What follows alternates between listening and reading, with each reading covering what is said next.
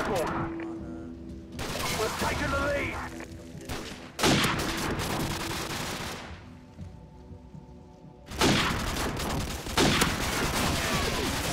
Our UAV is online.